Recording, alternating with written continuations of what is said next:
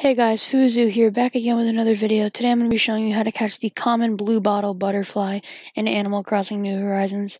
Let's get started. So this butterfly sells for 300 bells in Nook's Cranny. It is a flying type bug and is available from 4 a.m. to 7 p.m. So the bluebottle is just right there. And once I catch it, we will go to the Critterpedia. I thought I didn't have it, but I just realized it was a new butterfly, so there it is, the common bluebottle.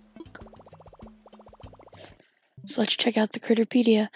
In the Northern Hemisphere is available from April to August. In the Southern Hemisphere, hemisphere it is available from October to February. If you found this video helpful, please consider chucking a like reading down below and subscribing and sharing with a friend, but none of that is necessary, of course. But I'll see you on the next one. Later.